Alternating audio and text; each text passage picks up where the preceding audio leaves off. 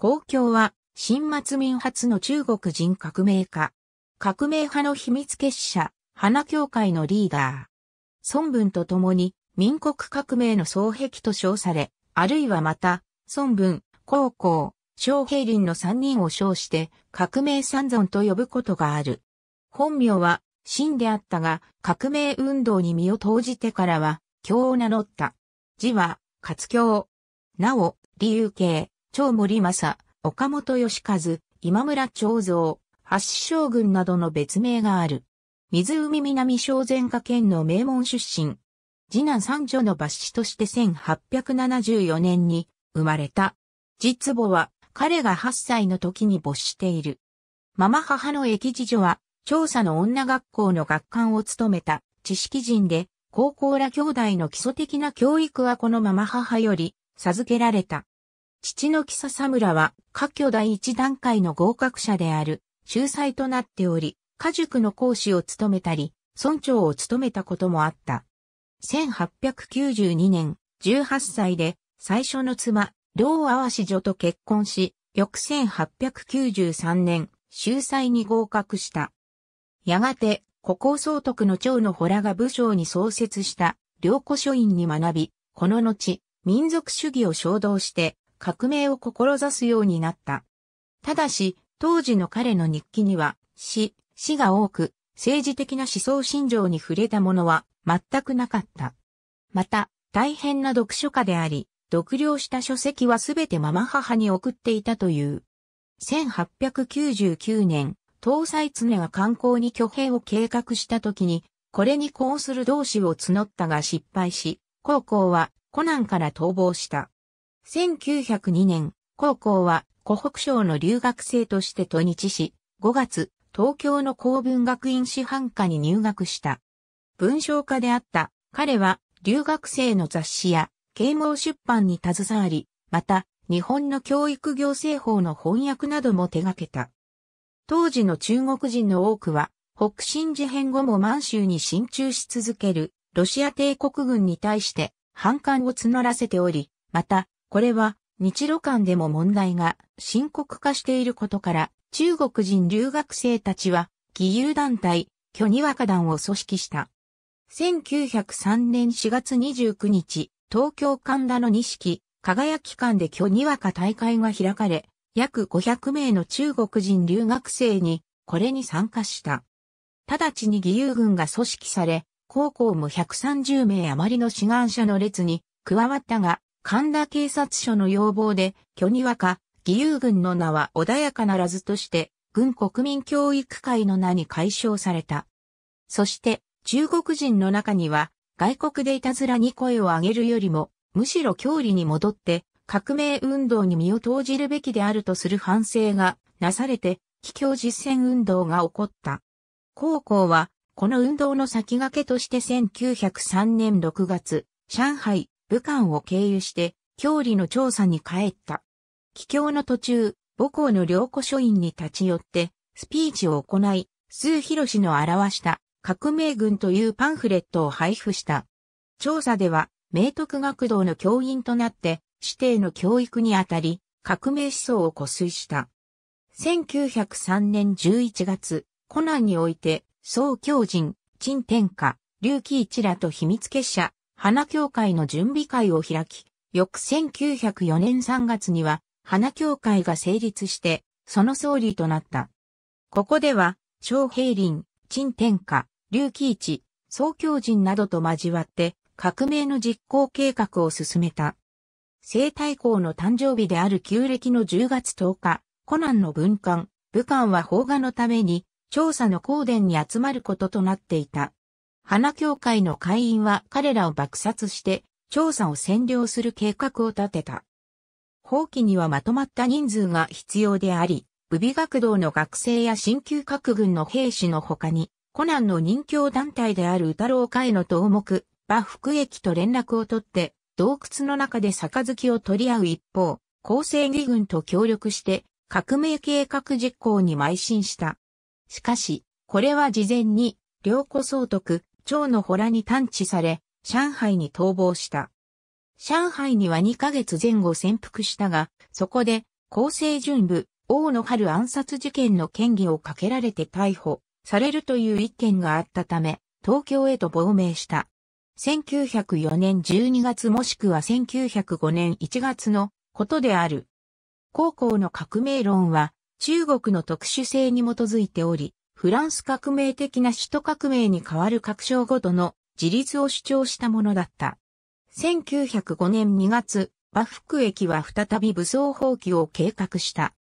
高校と劉貴一はこの方を聞いて密かに帰国し、関陽で小銃43丁と弾薬を調達して馬福駅に渡そうとしたが、放棄は失敗し、やむなく、高校らは商人や管理に変装しながら日本に再び亡命した。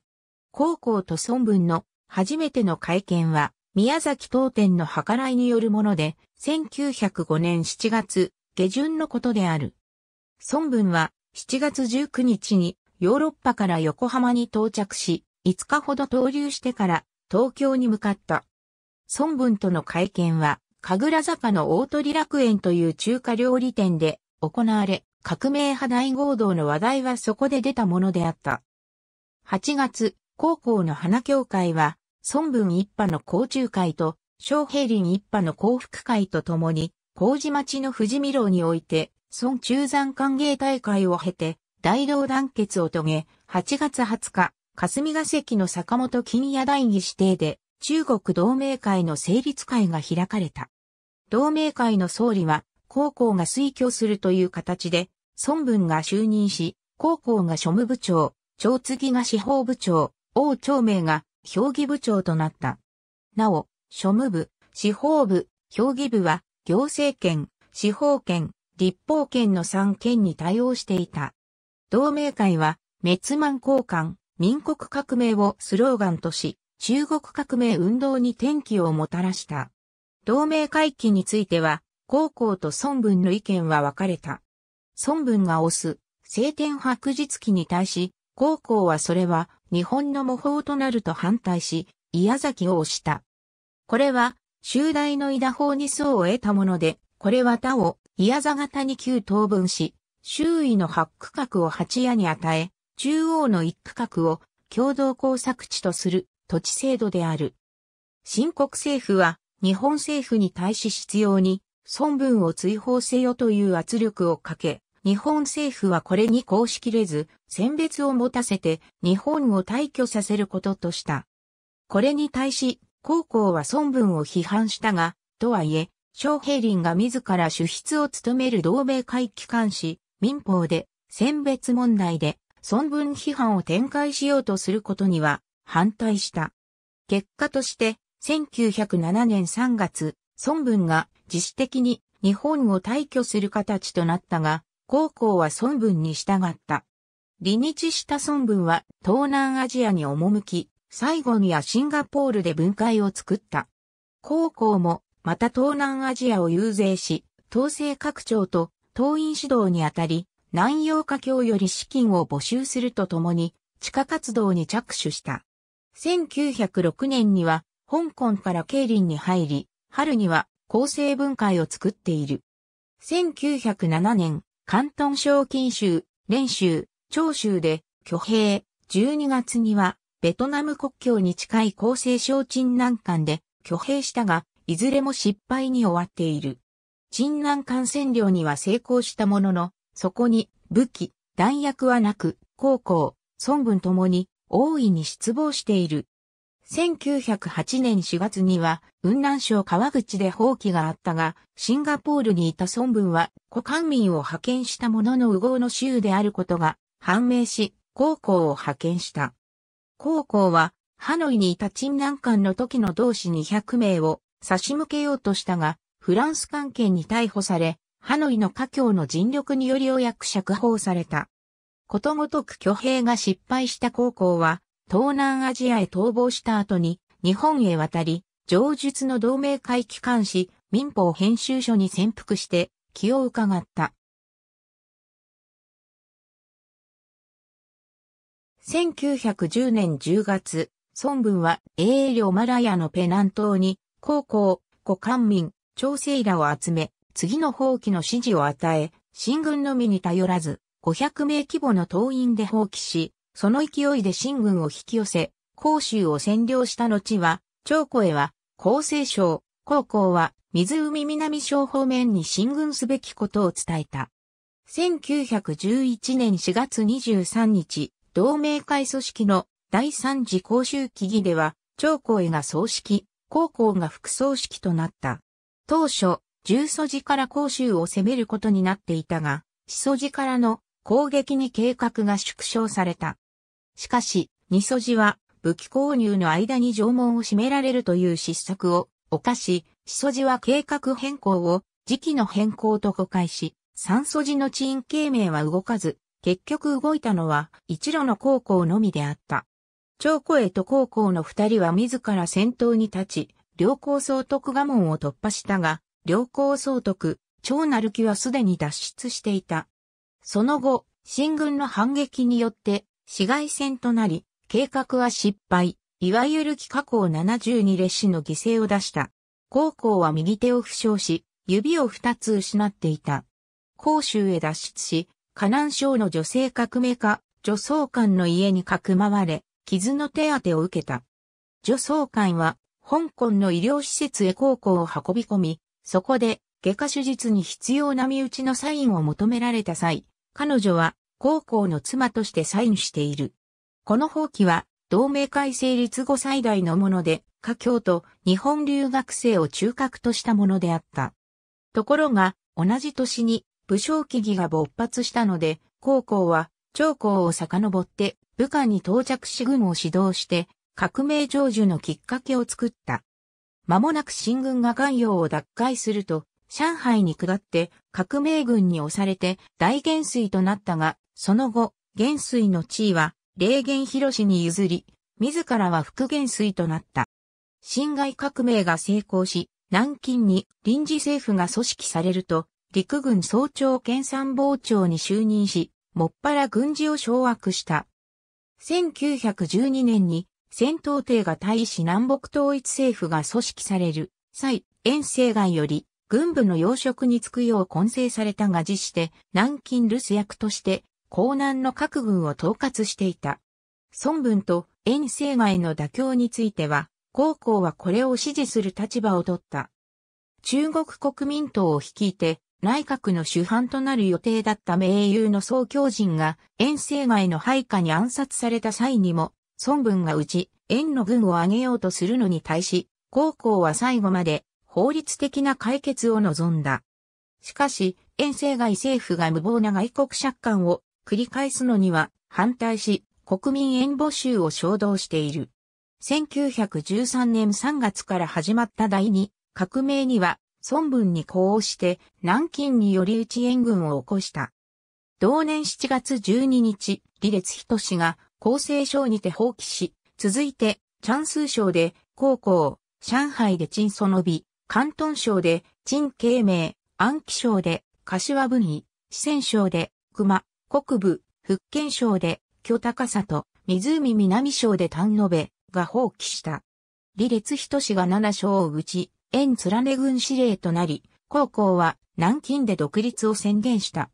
しかし、革命軍は遠征外に敗れ、孫文は台湾に亡命し、高校は日本に逃れて、犬飼竹指定にかくまわれた。